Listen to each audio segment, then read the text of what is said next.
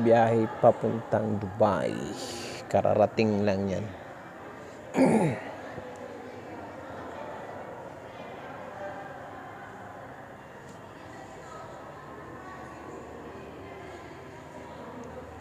Ang ganda ng kulay ng sariling eroplano ng Dubai.